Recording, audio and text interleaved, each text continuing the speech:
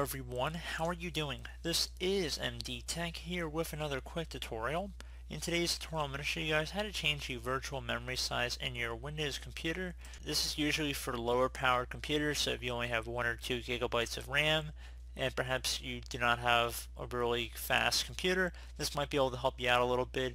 Generally speaking, if you have about 4 gigabytes of RAM or more, you probably don't need to do that because your other hardware is probably also going to be sufficient enough that it probably won't really benefit you in order to do this but I'm going to just show you guys how to do it for this tutorial so it shouldn't be that big of a deal and we're going to go ahead and jump right into it.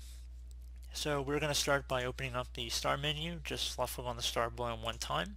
Type in run, so R-U-N. Best match with run, left click on that one time. Now into the run field you want to type in sys exactly it appears on my screen and you want to left click on OK.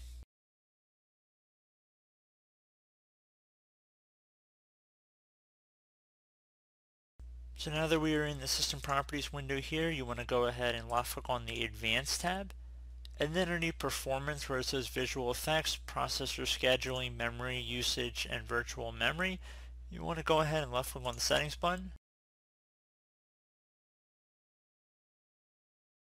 Now in the performance options window, you want to left click on advanced. And where it says virtual memory, right across from where it says total paging file size for all drives, left click on this change button. You want to uncheck the box where it says automatically manage paging file size for all drives. And you can select the custom size here. So generally speaking, you want this amount in megabytes to be between two and a half to three or so times the amount of RAM that's installed in your system. So keep in mind that there's 1024 megabytes within 1 gigabyte.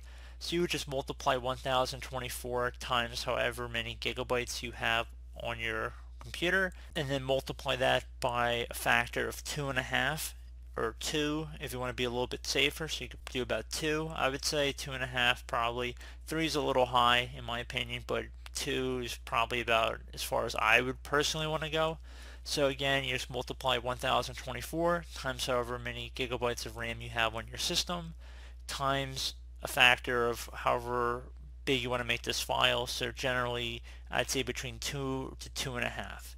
So you just would type that in there, and then you go ahead and left click on set once you type in these values in there.